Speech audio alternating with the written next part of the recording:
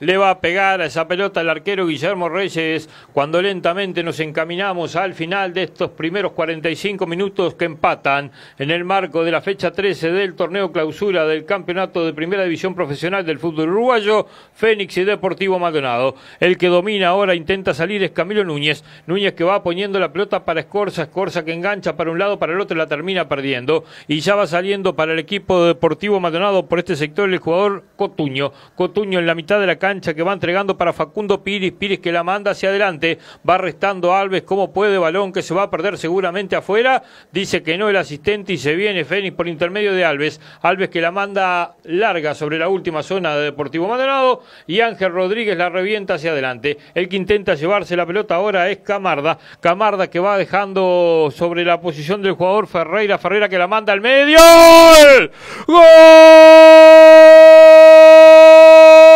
Camarda. Gol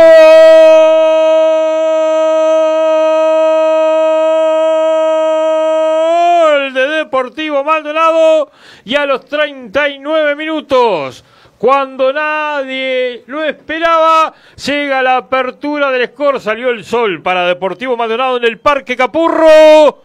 Lo gana el Rojiverde de Avenida España por 1 a 0. Camarda Terrible remate, nada que hacer para el arquero Agustín Requena.